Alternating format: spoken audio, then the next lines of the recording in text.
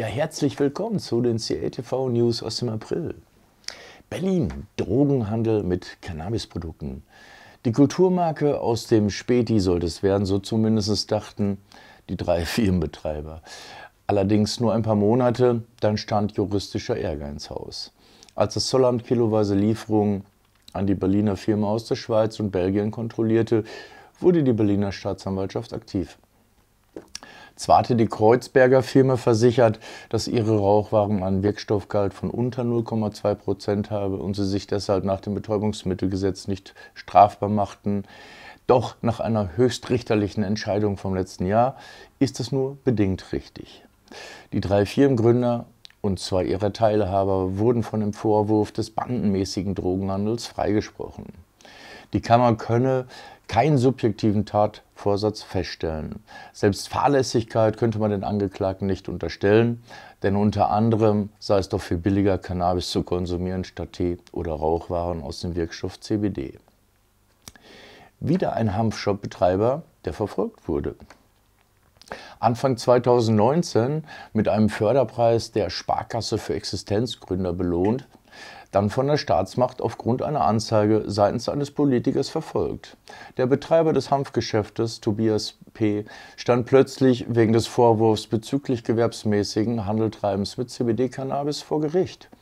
Es droht ihm eine Haftstrafe von bis zu fünf Jahren Gefängnis. Nach dem Auftakt der Verhandlungen im Jahre 2020 wurde die zweite Runde Ende März eingeläutet, die letztendlich ein halbwegs glückliches Ende für den Beschuldigten mit sich brachte. Der Prozess gegen den Inhaber wurde eingestellt, nachdem er mit seinem Anwalt äh, dieser förmlichen Beendigung zustimmte. Ja, und dann noch ein Fall. Äh, was hat die Justiz eigentlich gegen Hanf? Ähm, Wenzel Cerverni, jetzt schon 60, ist von der Bild-Zeitung als Cannabiskönig betitelt worden. Klar, dass gerade die bayerische Polizei es auf ihn abgesehen hat. Aber warum so oft eine Durchsuchung? Gleich 20 Mal wurde bei ihm eingerückt. Der Münchner führt 18 Hanfgeschäfte in Deutschland, Luxemburg und Österreich und dort gibt es alles rund um das Cannabis. Tees, Zahnpasta, Eistee, ja sogar Hanfbier oder Hanfeier. Was kann der Grund für die Durchsuchung sein? In Nutzhanf ist entspannendes CBD. Das verkauft Cerverni Kapseln, Öl oder als Tee. Enthalten ist aber auch minimals THC, der verbotene Stoff, der den Rausch bringt, so die Staatsanwaltschaft, welche Zaverni deshalb anklagt. Der Vorwurf gewerbsmäßiger Handel mit Betäubungsmitteln, die Klage ist noch nicht zugelassen. Er widerspricht, wir halten alle Grenzwerte ein, die Staatsanwaltschaft zählt den THC-Gehalt alle beschlagnahmten Waren zusammen. Da kommt natürlich viel mehr raus. Aber das sind Dutzende Kilos also das kann kein Mensch alleine konsumieren, so Cerverni. Die Razzien haben für Cerverni auch finanzielle Folgen. Die Polizei hat Waren im Wert von 250.000 Euro beschlagnahmt.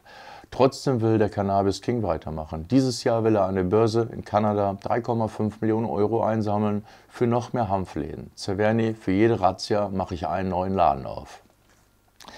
Schweiz. Das CBD-Öl.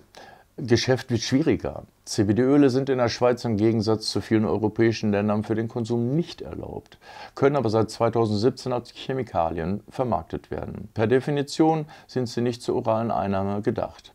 Mangels Anerkennung als Naturmittel können sie aber als Duftöle oder für die äußerliche Verwendung angepriesen und erfolgreich verkauft werden.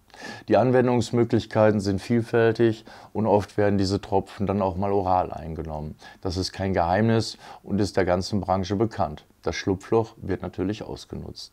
Darum verfügte nun die Anmeldestelle für Chemikalien, dass CBD-Duftölen künftig ein Vergällungsmittel äh, beigefügt werden muss. Diese Maßnahme entspricht faktisch einem Cannabiolverbot für die orale Einnahme. CBD-Extrakte sollen nun auch mit Geschmacksstoffen ungenießbar gemacht werden, um eine orale Einnahme zu verhindern. CBD-Öle, wie wir sie bis jetzt kennen, werden als Chemikalien vermarktet werden, dürfen nur noch während einer Übergangsfrist von sechs Monaten verkauft werden. Keine schönen Aussichten für die Menschen, bei denen die Cannabisextrakte helfen und jene, die sich damit selbstständig gemacht haben. Entschuldigung. Gleichzeitig eine paradoxe schweizerische Entscheidung. Nicht berauschendes CBD wird also verboten, Dafür soll aber in der Schweiz Grenzstadt Basel im Herbst ein Pilotversuch starten zum legalen Verkauf von Cannabis für Genusszwecke. Allerdings dürfen rund 400 Auserwählte an dem Projekt teilnehmen, wie die Gesundheitsbehörde von Baselstadt am Dienstag berichtete. Cannabis ist nach Angaben der Gesundheitsbehörden die am meisten konsumierte illegale Substanz in der Schweiz. Es ist verboten, Cannabis anzubauen, zu importieren, herzustellen und zu verkaufen. Trotz dieses Verbots ist der Konsum verbreitet und der Schwarzmarkt blüht schreibt das Bundesamt für Gesundheit.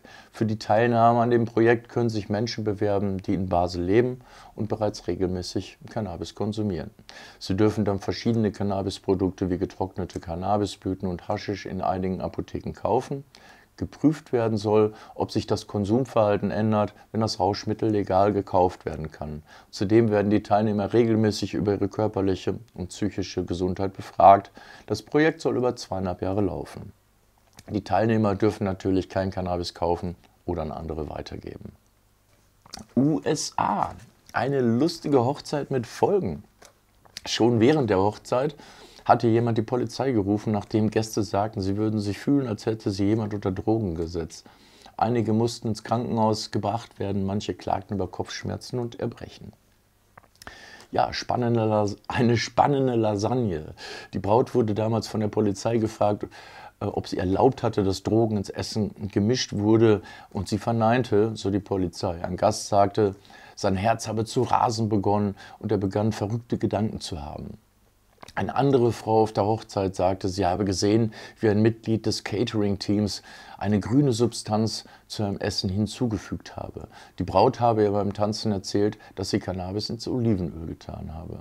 Die Polizei verließ die Hochzeit mit Essen in Glascontainern, um diese testen zu lassen, darunter Erdbeeren Schokolade, Pudding und Lasagne. Sowohl Lasagne als auch Brot wurden positiv auf THC getestet, genauso wie die drei Gäste. Nun muss die Braut mit einer Anklage rechnen. Ja, Spanien, gigantische Cannabisplantage, riesige Felder und außer Cannabispflanzen nichts in Sicht. Laut der spanischen Polizei soll es sich um den Fund um die vermutlich größte Marihuana-Plantage handeln, die jemals in Europa gefunden wurde. Insgesamt sollen bei der Aktion 415.000 Hanfpflanzen im Werte von über 100 Millionen Euro, ja, ihr hört richtig, vernichtet worden sein. Die Plantage erstreckte sich insgesamt über elf Felder mit einer Größe von rund 67 Hektar, teilte die spanische Strafverfolgungsbehörde Guardia Civil mit. Rund 50 Tonnen der Pflanze wurden zudem in einem Lagerhaus gefunden, wo es getrocknet und anschließend zu Cannabidiol, also CBD, verarbeitet werden sollte. Im Zuge der Aktion sind drei Personen verhaftet worden. Der Besitzer der Plantage erklärte, dass es sich hierbei um einen legalen CBD-Betrieb zur Herstellung von industriellem Cannabis handle. Es sei geplant gewesen, große Mengen der Pflanze nach Italien und die, und die, Schweiz zu exportieren. Es bleibt ein Rätsel, warum es einfach vernichtet wurde. In diesem Sinne, passt auf euch und euer Gras auf, bleibt tapfer und gesund, lasst einen Kommentar da oder ein Super Thanks und abonniert uns. Bis zum nächsten Mal. Baba.